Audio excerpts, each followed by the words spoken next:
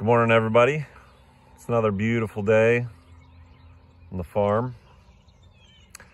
Uh, a few weeks ago, we had somebody come by and take out a pond. We had a pond down here, and um, it was it wasn't a huge pond, but it was, but it was um, not holding water because a sinkhole opened up and formed in it. And so we had them come tear it down. There's also a bunch of uh, wood on the dam, or sorry, trees on the dam, which isn't very good. And so uh, he bulldozed it down, packed in the sinkhole that was draining the pond, put all the, the brush here, and we decided to burn this brush. It's not brush, it's just big trees, okay? um, and while we were doing that, um, it, it was windy that day and the burn pile didn't burn very well, but the field caught on fire. And so you can't tell, but we had almost an acre burn. All this it looks nice and green now. This is only three weeks ago. Um, and it's been growing back nicely. Luckily, we've had lots of rain since then. But I'll tell you what, that was a scary experience having this whole thing catch fire close to the neighbor's house with the wind blowing towards the neighbor's property.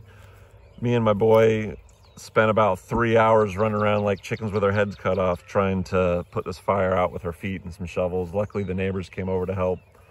Um, and uh, it ended up being not, you know, no harm, no foul. Um, I always have wanted to do a controlled burn just to see, I heard it's good for the pasture, just to see what it's like. Um, so we got a uncontrolled burn instead to the same effect, but I just wanted to show the difference in the grass.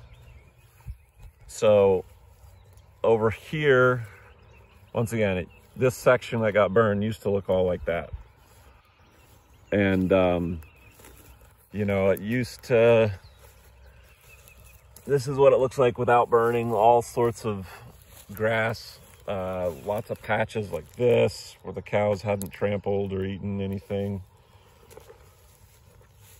And then where it burned you can see there's all this bare ground but lots of stuff coming up. And some places are greener than others.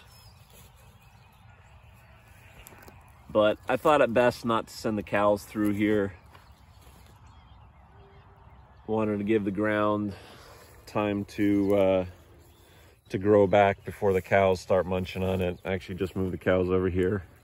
And they are munching on it right now, so I'm gonna move them down past this area and block them off. But just wanted to show you guys that. And um, man, it is so beautiful out this morning.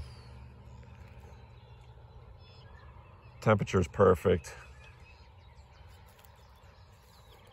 Birds are chirping. Love it. Have a good day, everybody.